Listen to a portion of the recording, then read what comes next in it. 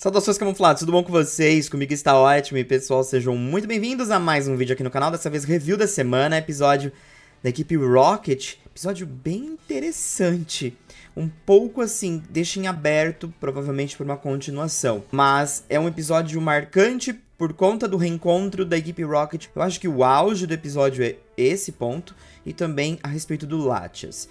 Caso contrário, seria só um episódio qualquer, eu acho, da equipe Rocket só atrapalhando o dia, né? E vem a questão nesse episódio: será que a equipe Rocket foi demitida? Foi separada definitivamente? Diga nos comentários, bora lá para essa etapa final. Esse é o segundo episódio da, do mês de Pokémon, faltando agora mais dois episódios para finalizar a aventura do Ash de uma vez por todas no anime Pokémon. Estamos chegando nesse momento. Aí. Bora lá então para mais uma review.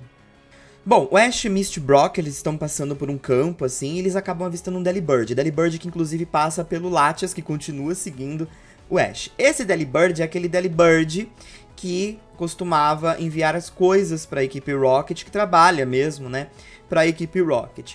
E a equipe Rocket está vagando bem próximo ali, e eles estão morrendo de fome. E aí o Delibird aparece com várias marmitinhas assim, e eles agradecem porque eles estavam morrendo de fome. E aí ele libera diversas Pokébolas. Essas Pokébolas são de Pokémons do passado de Jesse James. E o Delibird tira também da sacola dele uma estátua gigantesca assim do Giovanni que diz que esses Pokémon são Pokémons que eles reuniram no passado e que eles devem cuidar com responsabilidade agora desses Pokémon. E a estátua se explode, assim. E é muito bacana porque cada um deles vai lembrando, né? De cada um, eles vão se abraçando. É um momento muito, muito fofo. E aí a Jess e o James até fazem referência aos Pokémon que já passaram pelas mãos deles na equipe Rocket. Desde uh, Arbok e Weezing, né? Até Mimikyu e Marine. Então vão passando diversos Pokémon, até o Lictang acaba aparecendo, Victory Bell, enfim. Mas é muito emocionante esse reencontro deles com diversos Pokémon do passado. Então assim, o roteiro, mesmo não colocando outros Pokémon como Arbok e Weezing, que eu acho que muita gente queria ver, o roteiro faz essa menção, essa memória a esses Pokémon. Então a Jess e o James acabam falando, bom, Vamos bolar um plano infalível com todos esses Pokémon para conseguir o Pikachu. Em nome de todos aqueles, inclusive, que já não estão mais aqui, que são os Pokémon que eles capturaram no passado, mas acabaram liberando para a natureza ou para alguma outra função. E por conta de diversas situações. O James tem um plano com o Mime Jr. dele, porque a gente sabe que o Mime Jr. costuma imitar tudo, né, o que o seu dono ali, o seu treinador faz. E aí o James tem um plano pra, basicamente assim, enganar o Ash e fazer com que ele se afaste do Pikachu. Então o plano inicial é o Mime Jr. aparecer na frente do Ash, fingindo que ele está precisando de ajuda e começar a chorar, usando fake tears, vamos dizer assim. E logo em seguida, a equipe Rocket vai aparecer e vai desafiar eles, dizendo que o Mime Jr. traiu a confiança deles, porque o Mime Jr. estava entregando eles pra guarda Jenny. E eles estão muito aborrecidos com o Mime, Mime Jr. e querem pegar ele a todo custo. Então, basicamente, fazendo esse drama todo, o Mime Jr. vai convencer o Ash a, enfim, protegê-lo. Ter um intruso ali no meio, né? E aí o que acontece? Quando eles colocam um plano em prática, o Pikachu reconhece o Mime Jr que é o Mime Jr. do James da equipe Rocket, ele já fica com o pé atrás, mesmo o Mime Jr. pedindo ajuda. E aí a equipe Rocket aparece, conta de fato o que está acontecendo, né, inventando todo aquele plano, conta pro Ash que eles estão, que o Mime Jr. está traindo eles, etc. O Ash morde a isca e ele acaba usando o Pikachu e derrota, né, a equipe Rocket que promete que vai voltar, que não vai deixar as coisas assim. Agora eles estão indo para a guarda Jenny, né? O Ash e os outros devolveram o Mime Jr. para solucionar toda essa situação. E aí o Brock até faz uma brincadeira, né, com aquele charme dele, dizendo pro Mime Jr., quando encontrar a guarda Jenny, falar para ela que quem salvou ele foi o Brock, e, enfim, aí a Misty já pega ele pela orelha, Kroger que aparece, dá um murro nele assim. E agora eles seguem caminho até a guarda Jenny para levar o Mime Jr. embora. Só que pasme, a segunda parte do plano da equipe Rocket vem aí eles vão usar todos os Pokémon deles que eles tiveram para atrapalhar o caminho, né, uh, até a guarda Jenny de Ash Misty Brock. Então, quando eles começam a entrar num, numa estrada, o Mega e o Among Us aparecem para acabar com a situação ali e não permitir que eles passem. O Brock, então, acaba é, utilizando o seu Ludicolo, porque esses Pokémon acabaram vindo com alguns uns pós venenosos, paralisantes assim, e o Ludicolo meio que afasta tudo ali. E aí o Brock diz que vai ficar por ali cuidando daqueles dois Pokémon, porque eles acreditam que esses Pokémon provavelmente são os da equipe Rocket, atrapalhando tudo, e ele pede pra Misty e pro Ash seguir em frente. E aí o Brock acaba pegando uns chacoalhos assim e fica dançando com a música do Takeshi Paradise no fundo, né? E dançando uma coisa bem legal ali com o Ludicolo e o Croagunk e acaba distraindo o Among Us e o Yamega. É muito engraçado essa parte. Logo depois, Misty e Ash continuam seguindo ali em frente e Latias observa o que está acontecendo, porque o Latias já está percebendo que eles, a equipe Rocket está armando uma tremenda sabotagem ali e já está nervoso com aquela situação. E aí mais Pokémon da equipe Rocket aparecem, agora Freelish e acho que o Yamask. E aí a Misty parte com seu estário e o Psyduck sai também da Pokébola e eles começam a batalhar por ali. E aí o Ash segue em frente para levar o Mime Jr., enquanto a Misty fica ali batalhando. E é muito legal essa batalha da Misty com os Pokémons da equipe Rocket, porque o Yamask acaba jogando a máscara dele na cara do Psyduck e o Psyduck fica desesperado porque a máscara não sai do rosto dele. É muito engraçado. Logo à frente, o Pikachu meio que é quase raptado porque o Carnivine usou seu cipó ali para pegar o Pikachu, mas o Ash acaba usando o Infernape para impedir que o Carnivine, que acabou de aparecer, roubasse o Pikachu. Ao lado do Carnivine está o Gorgeist, e eles tentam ali também distrair o Ash para que eles consigam afastar o Pikachu do Ash. Então o Ash acaba usando também o Howlucha e começa uma batalha de Infernape e Howlucha contra Carnivine e Gorgeist. E aí, com o Ash tendo que batalhar, o Mime Jr. e o Pikachu acabam se afastando. Mas mal sabia o Pikachu que ele estava se afastando para basicamente o maior perigo da vida dele. E agora é a hora que a equipe Rocket vai tentar capturar, né, roubar o Pikachu, já que o Ash não está presente. E aí eles armam uma tremenda emboscada. Primeiro eles tentam jogar uma rede no Pikachu, mas o Pikachu acaba conseguindo sair. Quem acaba sendo pego é o Mime Jr mas depois o Pikachu acaba sendo encurralado por diversos Pokémon da equipe Rocket. Viper, Inkay, é, o Buffet, o... Diversos Pokémon estão ali para acabar com a raça do Pikachu. Então o Pikachu se vê em tremendo perigo ali. Só que Latias está observando tudo. E o que, que a Latias faz?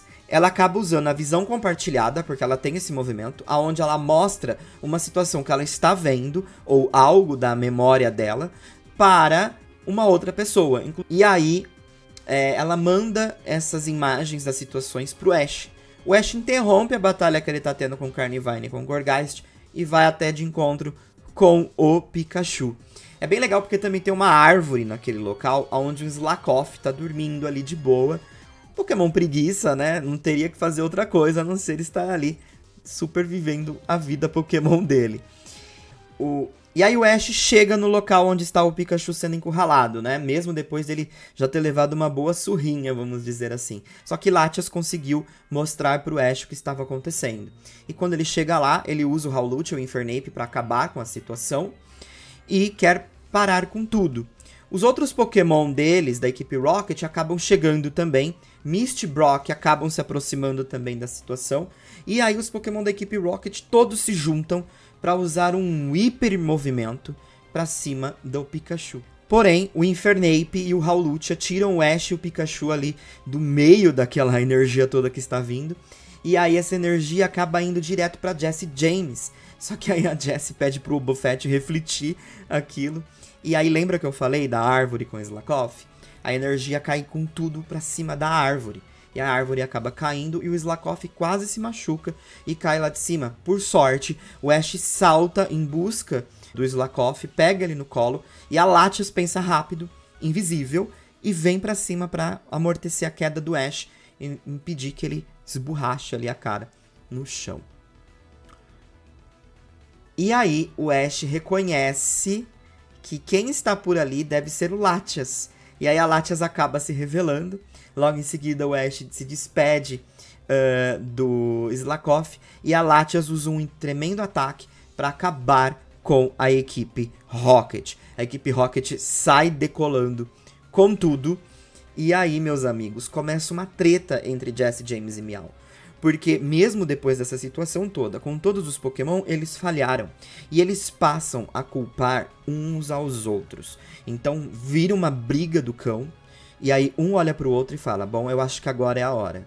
Eu também acho. É a hora da gente se separar e cada um segue um rumo e todos os Pokémon deles observando aquela situação que ninguém esperava, foi um surto. E a equipe Rocket se desfaz. Jesse, James e Meow não estão mais juntos. Voltando para Ash, Misty, Brock e Latias, nós temos uma situação ali. A Misty já havia falado que achou bacana, né? Latias está ali, inclusive é, o Ash já havia falado para pra Misty que tinha uma, ele tinha encontrado uma Latias recentemente. E a Latias usa da visão compartilhada novamente. Agora mostrando uma situação que aconteceu com um Latios. Ela mostra para Mist, Brock e Ash uma situação com um Latios que aparentemente estava preso ou está preso numa espécie de um prédio, algum lugar, e aparentemente ela está pedindo ajuda do Ash por conta disso. Provavelmente foi por isso que Latias estava observando o Ash o tempo todo, para ver se ela poderia confiar nele e pedir a ajuda dele para essa situação do Latios. Latias precisa de ajuda. E o episódio termina assim. É, assim, o episódio foi muito bacana nesse reencontro, sabe? Esses momentos do James com o Mime Jr., é assim, é para quem acompanhou principalmente a época do Mime Jr. no anime, vai ter uma explosão de nostalgia, porque o Mime Jr. era festa, né? Era muito legal os momentos que eles compartilhavam juntos ali. E é muito legal esse carinho que o James tem, não só com os Pokémon dele, mas principalmente com o Mime Jr., costumava ter também com o Shaimeco. Mas o Mime Jr. é muito fofinho a forma como eles se comunicam, porque o Mime Jr. é um Pokémon é extremamente assim carismático. Então James fica muito orgulhoso do, da, assim, mesmo tendo dando errado, né, até ali tava dando tudo certo, ele fica muito orgulhoso que o, a, o plano tava indo bem graças às atuações do Marmy Jr. Então foi muito bacana ver esse momento. Mas foi um episódio muito bacana por esse reencontro. A equipe Rocket merecia esse reencontro há muito tempo muito mais talvez que o Ash, né? Eu acredito que, inclusive, eles deveriam ter dado um jeito de Arbok e Weezing aparecerem nesse episódio, sabe? Tipo assim, eu não sei qual, eu não sei quais seriam as circunstâncias, como seria isso, mas Arbok e Weezing, de alguma forma, poderiam ter aparecido além de flashback. Eu acho, seria uma finalização justa, porque Arbok e Weezing, por mais que eles tenham ficado para trás, para o pessoal da velha guarda, né, é basicamente o Pikachu da equipe Rocket, sabe? Então, assim, eles, mesmo Meow desempenhando esse papel, esses são os dois pokémons mais, assim, icônicos que eles tiveram em relação à imagem deles inicial, né, com Ekans e Coffin. Então, assim, não sei, eu gostaria de ter visto algo relacionado a isso. Mas, esse reencontro, ele é muito bonito. Muito legal ver todo mundo abraçado, reunido. Você vê mesmo o Dream Team ali né, ao lado um dos outros e fica uma coisa muito assim, esteticamente bonito de ver, sabe? E emocionante. Então, gostei desse de, dessa parte e inclusive deles terem liberado também, né, a presença ali do Delibird, porque eu sinceramente não esperava o Delibird. A gente por Jornada estar como está, a gente esperava algo relacionado, por exemplo, ao Pelipper, né? E aí eles me aparecem com Delibird fazendo uma hiper referência ao passado também. Então, gostei. Gostei demais. Teria sido legal também, sabe? Quem sabe, assim, um Delibird e o Pelipper aparecendo juntos. Teria sido divertido também. Mas no final das contas, foi muito bacana é, esse reencontro e eu gostei. Sobre é, o plano deles, obviamente, tinha que ser um, um plano pastelão, né? Então, assim, foi dividindo o grupo, foi fazendo graça, e aí o Pikachu acaba é, ficando meio que indefeso ali, mas o dia é salvo e Latias acaba aparecendo, finalmente. E o Ash reconhece que era Latias que tinha salvado ele ali, né? Quando tava tudo invisível, coisa e tal. Então o Ash acaba reconhecendo é, que era ele. A gente sabe que o Ash consegue sentir a presença dos Pokémon, enfim, ele se conecta e ele sente. E ali ele sentiu que era Latias. É um episódio muito interessante porque ele dá início agora, esse finalzinho, à revelação final sobre o que é ser um mestre Pokémon. É a partir daqui.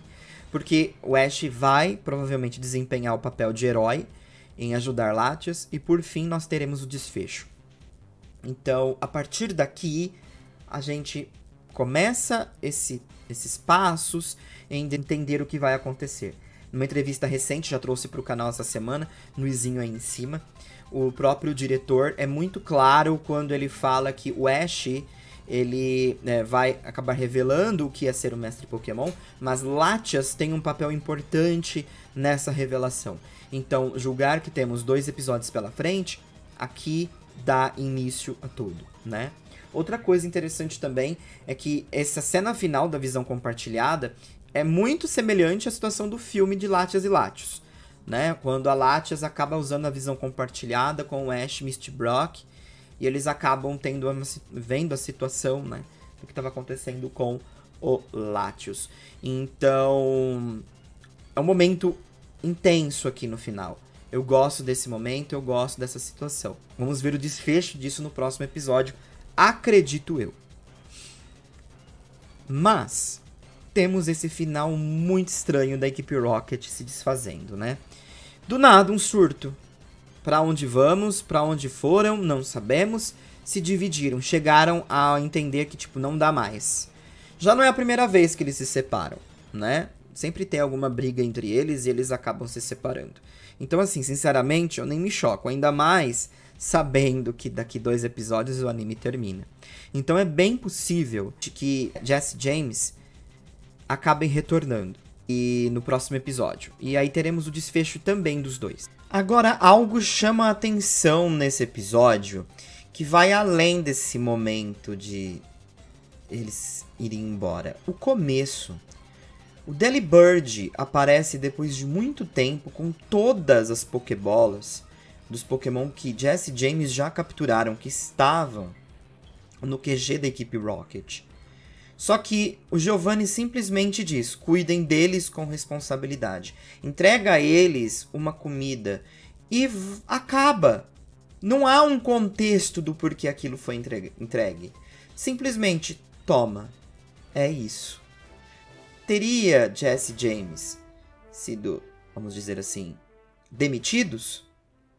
Porque basicamente é uma sensação que passa nessa parte da história. É como se o seu chefe falasse: Olha, aqui está é, as suas coisas, ok, adeus. Essa cena ela é muito intrigante porque eles simplesmente usam da ideia de estarem com a reunião de todos os Pokémon. Não é dito o porquê que ele fez aquilo. Ele simplesmente entrega e eles decidem ir atrás do Pikachu. Só. Porque talvez seria um plano infalível. E quando eles se dão conta que nem assim eles conseguiram, eles começam a jogar a culpa um no outro.